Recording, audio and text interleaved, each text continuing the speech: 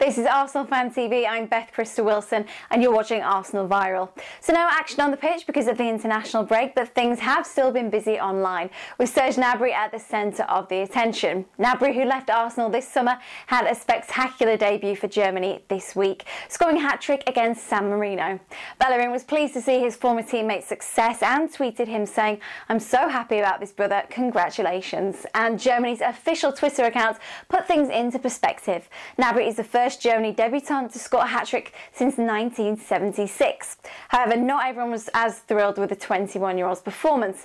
Many Arsenal fans were lamenting the fact that the German is no longer at the Emirates. Someone shared this photo of what Wenger may have looked like watching the match. One Gunner tweeted, massive L for Arsenal selling Gnabry. We're going to regret that. Whilst another said, I'm not one to mourn over sold players, but Gnabry starting for Germany already says a lot. Even Gnabry's new team got in on the action.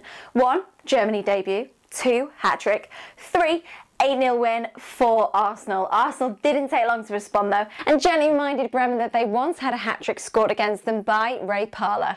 They shared a photo from that game and said, on the subject of hat-tricks, remember this? We're sure that they do. Of course, everyone is now focused on this weekend's clash against Manchester United, and Wenger has said that he will shake hands with Mourinho at Old Trafford. This didn't come as a surprise to many. One thing with Wenger is he has class.